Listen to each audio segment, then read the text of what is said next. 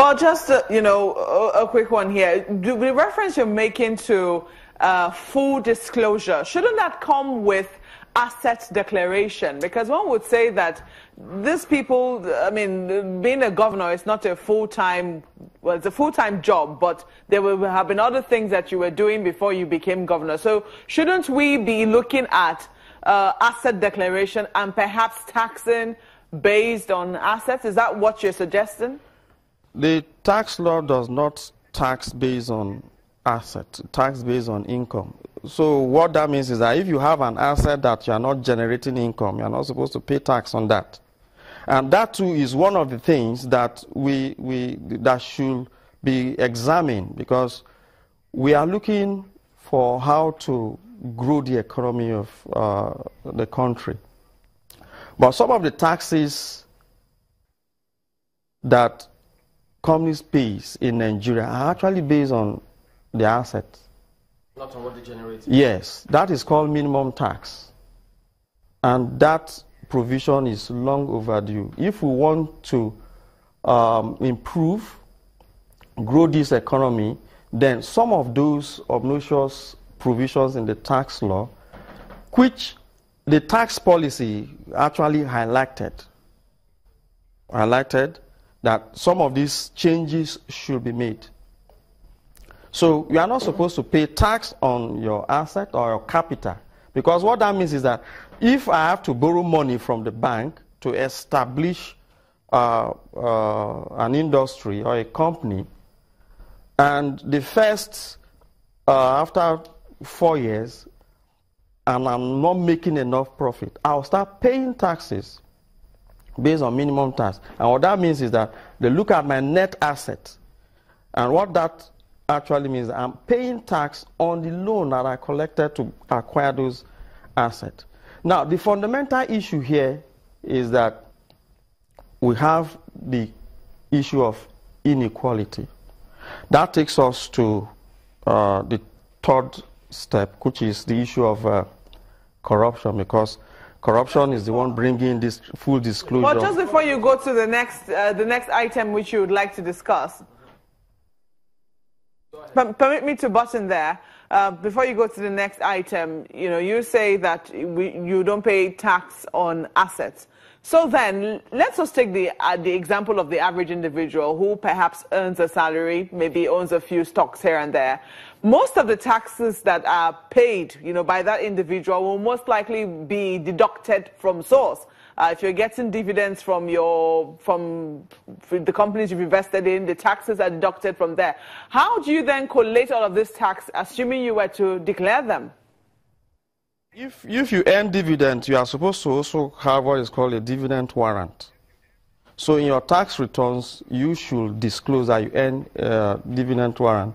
And by the law, the Nigerian uh, the personal income tax, once your dividend has suffered tax at source, it becomes the final tax. But it should be disclosed in your tax uh, tax returns. So uh, the the third hmm. item I want to. Uh, maybe we'll have less than a minute to go to break, but before you go to that third item, so what happens to companies or people who establish maybe sole proprietorships and uh, or even a company and the first one, two years, they barely have made any profit, and then they are paying taxes. What happens in that case? Yeah, that's, that is because that is the way the tax law is for now.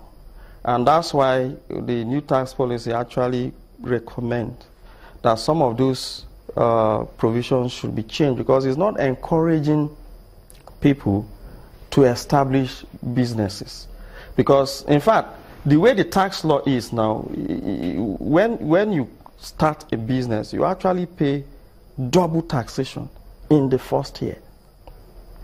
And that is called commencement rule.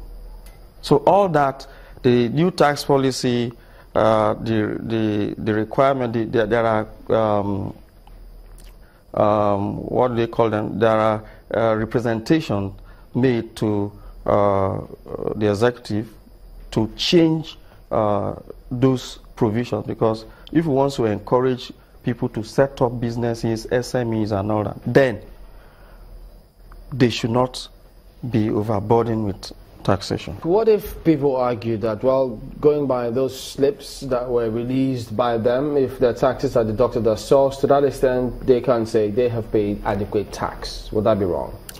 Yeah, based on those slips, if that's the only income they've earned, yes, also you said that they've paid their adequate tax. But the question is that, are you saying that they don't have other incomes outside their statutory emoluments? But perhaps they don't. Well, that is a question for uh, another day. And as uh, oh, you don't believe that journalists, they don't have. Um, as journalists, I expect that they don't have anything else but the government work that they do. You don't believe that. You, you okay? Even at, at that, uh, we know that uh, most most uh, chief executive or people in government have other sources of income other than their statutory income. Now that that brings us to the issue of uh, corruption, because fighting corruption and all that that's what brought about transparency, disclosure of all that. The question is, what will you really consider as the problem of Nigeria? We know corruption has been on the lips of everyone. But as a futurist, I don't think corruption or corruption is not the problem of Nigeria. Why? Corruption is actually a symptom Of so you need to now look for the disease. Why is corruption pervasive? Then you say people are greedy. Why are people greedy? It's because there is bad leadership. Now, this bad leadership, where are they actually coming from? They are also coming from society. can there be bad leadership from tax uh, collectors? it cut across all board. So you talk about bad leadership. Where are these leaders coming from, or where are these public office holders coming from? They are coming from the society, and the society is a system. So what that means is that you have bad leadership from a failed system. And why do we have a failed system in Nigeria? Is because there is no love amongst all of us. And why is there no love? Is because of one word inequality. So the problem of Nigeria is actually inequality.